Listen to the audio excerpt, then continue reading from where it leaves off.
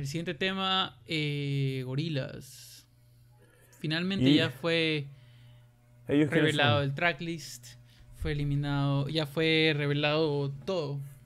Y me acuerdo, apenas, apenas salió la noticia, yo le, mandé un mensaje a Andrés, no hay Bad Bunny en Gorilas. Yo entiendo por qué tienes tanta molestia, o sea, no, no te da curiosidad saber cómo hubiera quedado. O sea, es que no sé cómo, no sé cómo habría reaccionado en realidad. Y no es que odio a Bad Bunny, definitivamente, simplemente el clash entre dos mundos tan diferentes se me habría hecho interesante, pero no sé. Y supuestamente iba a estar Kevin Parker también en ese mismo, en ese mismo track. Es tan interesante como, como saber que Elton John están con ellos. Oye, este, sabes que me, me, interesan bastante algunos de los features que son de los tracks de la edición deluxe, pero bueno, me imagino que ya vamos a hablar de eso, ¿no? Sí, eh, eh bueno, primero lo que tú dijiste, ¿no? De que todo, de, de que, ¿qué otra cosa varía, variaba con el leak? ¿Qué otro feature estaba? Mira que Beck resultó ser verdad, pero en el, en el leak falso, Beck iba a estar con Massive Attack. Massive Attack. Y no está Massive Attack. Eso hubiese sido chévere, eso de verdad hubiese sido súper interesante. Pero sabes qué? que también puede ser que... Ahora, no sabemos si algún rato, si hay alguna grabación o algo en donde está Massive Attack por ahí. Pero fue descartado porque, porque pudo haber sido descartado. Hay veces que quizás intentaron hacer los dos features y prefirieron no, como que Massive Attack no pega aquí. Eh, por ambas partes, quizás Gorilla y Massive Attack estuvieron satisfechos con lo que salió, entonces solo se quedaron con el feature. O sea, no significa que no significa que no estuvieron en el tracklist. E incluso lo de Bad Bunny quizás no funcionó. ¿Sí me explico? Y quizás el, el, leak. ¿Sabes qué? O sea, se me hizo muy extraño de cómo el leak sí coincidía con bastantes artistas. Ajá, por eso te digo, es, quizás el leak era de un work, eh, work in progress. Puede ser. No, no me he puesto a investigar en realidad de dónde salió el leak, pero por ejemplo, le atinaron a Schoolboy Q, le atinaron a Beck. Eh, creo que esos fueron todos. Sí, por eso. Saint Vincent creo que también andaba por ahí. Ah, y, ah sí. Shock Table.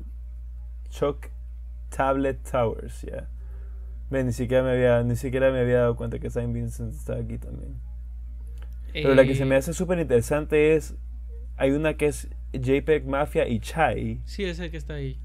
Chai, ¿has escuchado Chai? Es una banda de punk de puras mujeres japonesa. A mí me gusta bastante. Ah. Pero se me hace. Es como que.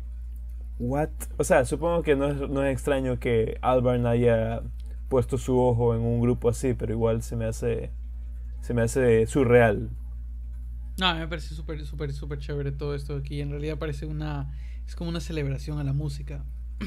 Sí, oye, todas las canciones que han salido hasta ahora han, estado, han estado bien, en realidad. ¿Escuchaste la nueva con Robert Smith? Sí, pero quizás tengo que escuchar un poco más. Hay algunos singles que no me, no me han conectado mucho. O sea, yo todavía no lo había oído y Diego, Diego me dijo, escúchala, es lo más raro que ha hecho Gorilas. Y yo, seguro, porque... Pero la escuché y efectivamente, sí, es súper... o sea, no voy a decir que es experimental así tremendamente, pero para al menos el sonido de gorilas es algo no, bastante... es como experimental, es más, cuando, cuando inicia la canción incluso le estaba subiendo el volumen, porque es como si estuviera súper super bajo. Hasta cuando ya comienza el ritmo, de ahí es como que se regula un poco eso, o suena como ¿Dónde, la, ¿Dónde la oíste? ¿Ah? ¿Dónde la oíste? ¿Te la bajaste? No, de Spotify. Yo la escuché en, en YouTube. Pero la escuché sin audífonos también, entonces no sé, no sé si mi mm. caso sea igual. Pero la canción me gustó, la canción me gustó ah. definitivamente, sí. No, igual mi favorita sigue saliendo la de, de Solé. Es, demasiado pegajosa de Solé. sí, sí. Sí, porque es la que, es la que más Sí, como tú dices, la, más, la más eh, pegajosa, la que uno más acuerda. Y, sabes que ha estado teniendo bastante éxito la cantante cuyo nombre ni siquiera puedo pronunciar, Fatuoima Dowara. Ah, la he visto en algunas nuevas cosas eh, este año. Entonces sí, sí me parece chévere. No sé si la man haya sido bastante conocida antes de esto. Yo personalmente no sabía quién era. Pero está teniendo éxito. ¿Sabes que el que más me llama la atención, yo creo, de, las, de los features que aún no se han escuchado es este de Gold Link con Unknown Mortal Orchestra? Sí, yo quiero escuchar la de Beck en realidad. Una curiosidad. Beck. Bueno, Beck también tiene buenos features, porque Beck estuvo en Chemical Brothers, estuvo eh, Es que esa es la cosa. Amo Beck, pero amo el Beck ah, que existió hasta el 2005, 2006. De ahí no lo aguanto. Pero... Ajá, pero sus álbumes como, por ejemplo, Odelay, son, me encantan, me fascinan. A mí yo creo que más me gustan los más recientes. Sí me he dado cuenta. El que ganó el Grammy creo que no me gustaba mucho.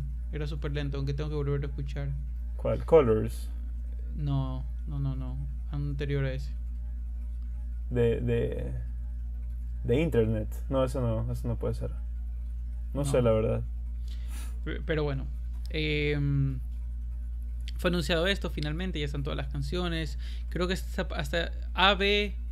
Claro, vendría a ser AB, que son 1, 2, 3, 4, creo que eran 10 canciones. 2, 4, 5, 2, 4, 6.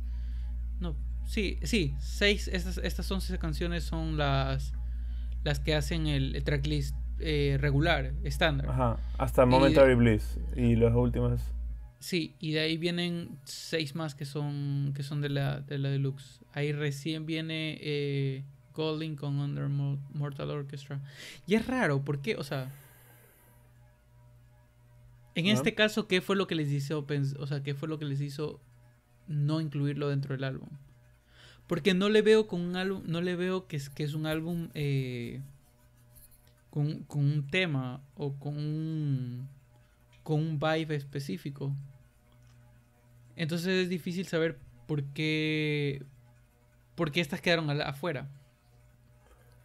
Eh, sí, sabes, bueno, por ejemplo, al último está How Far, que es la que ya la hemos oído, Tony, Tony Allen con Skepta. Skepta.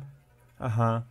Eh, y, o sea, yo entiendo por qué esa sería un, un, bonus track. Esa no suena, no suena como una canción completa, dura como dos minutos nomás, no escuchas a 2D slash Damon para nada, solamente es Skepta. Y obviamente la batería de Tony Allen, pero entiendo por qué esa podría ser un bonus track. No se siente tan completa como las otras que hemos oído. Mm, pero no sé si no sé si sea el caso con las otras, porque por ejemplo, no vas a decir que sería feo que eso sea el caso con Exacto. No, no creo, porque no, no vas a decir que pusiste a JPEG Mafia y Chai para hacer una canción que al final no, no le pusiste tanto esfuerzo, ¿sí me entiendes? Sí, ojalá. Habría que esperar nomás.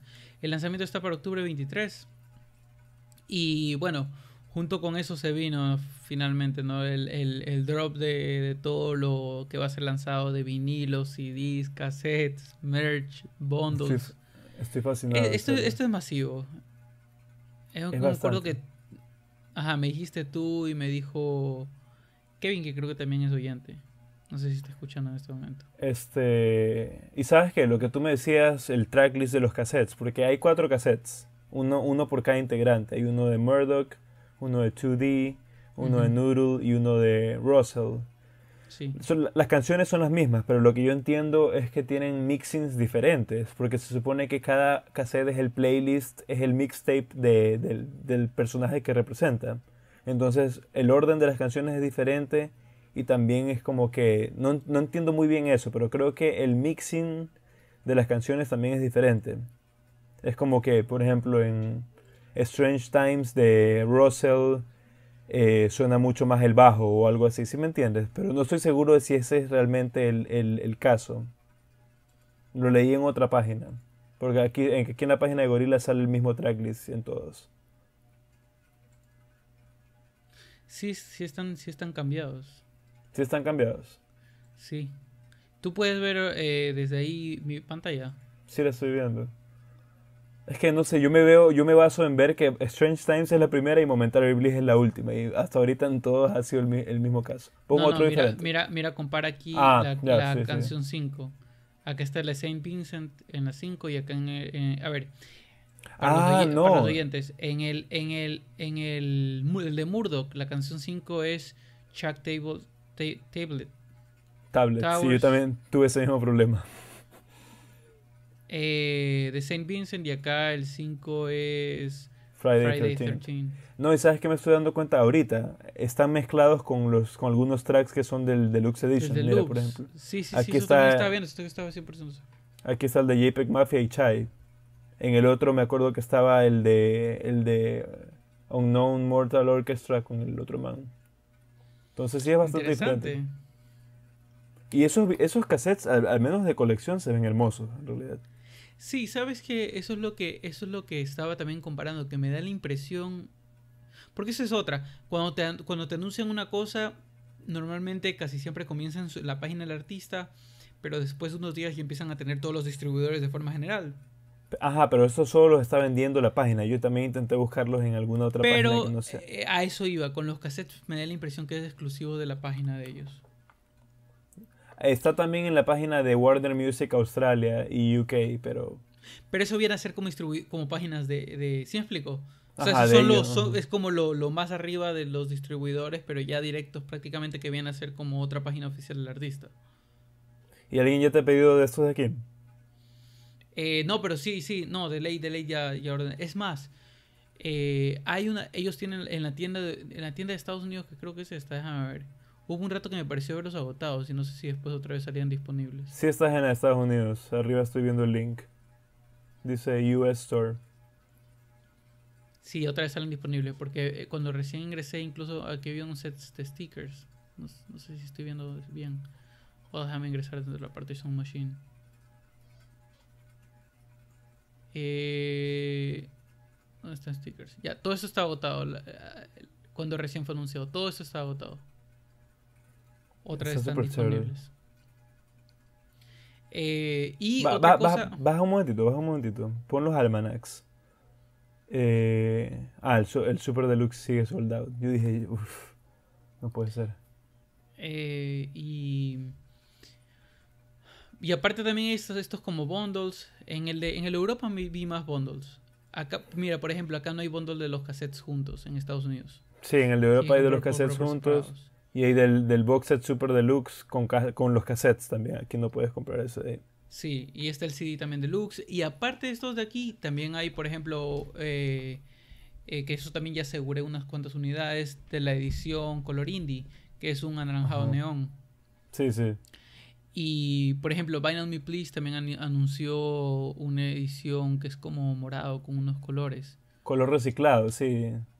Se parece mucho a esos de I Love, I Love Record Store.